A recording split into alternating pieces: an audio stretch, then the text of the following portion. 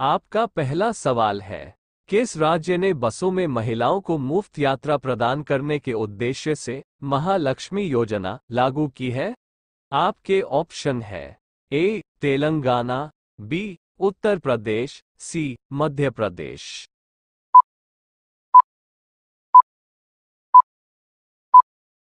आपका सही जवाब होगा, ए, तेलंगाना। आपका अगला सवाल है लालदोहोमा ने किस राज्य, केंद्र शासित प्रदेश के मुख्यमंत्री के रूप में शपथ ली? आपके ऑप्शन है। A, Rajasthan B Madhya Pradesh C Mizoram.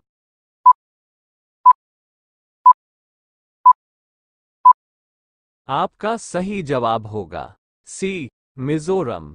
आपका अगला सवाल है।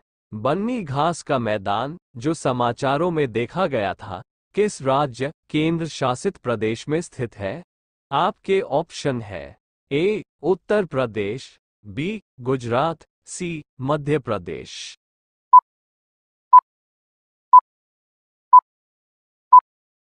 आपका सही जवाब होगा बी, गुजरात। आपका अगला सवाल है, हाल ही में किसे अजंता एलोरा फ़िल्म फेस्टिवल में पद्मपानी लाइफटाइम अचीवमेंट अवार्ड मिलेगा? आपके ऑप्शन है। A Javed Akhtar B Salman Khan C Amitabh Bachchan.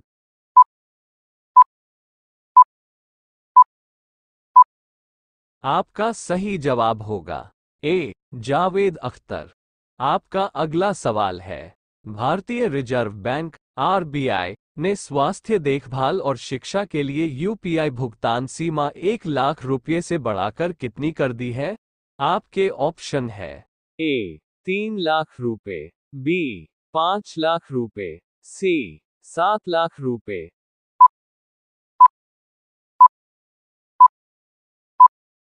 आपका सही जवाब होगा। बी फाइव लाख रुपए। आपका अगला सवाल है। खबरों में नज़र आए। शेयरिंग ताशी किस पेशे से जुड़े हैं? आपके ऑप्शन है। ए गायक बी लेखक सी, शिक्षक।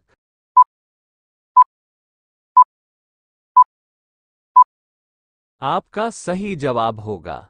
बी, लेखक। आपका अगला सवाल है, हाल ही में किस आईआईटी ने पानी से आसनिक और धातु आयनों को हटाने के लिए अमृत तकनीक विकसित की है?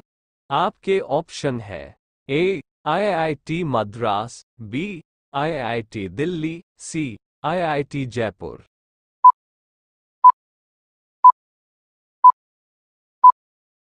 आपका सही जवाब होगा। A, IIT Madras.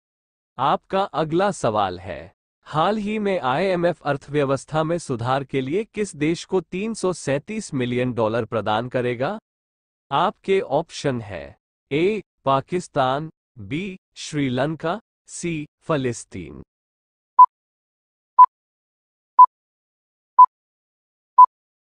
आपका सही जवाब होगा। बी, श्रीलंका। आपका अगला सवाल है, हाल ही में संयुक्त राष्ट्र ने कहा दस वर्षों बाद शांति मिशन को आधिकारिक तौर पर समाप्त कर दिया है? आपके ऑप्शन है, A, Syria, B, Kuwait, C, Mali.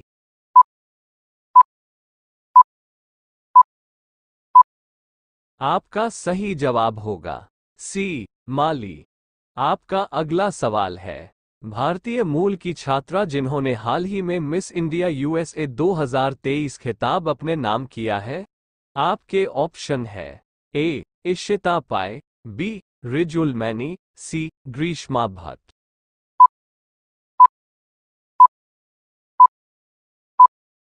आपका सही जवाब होगा, बी, रिजुल मैनी।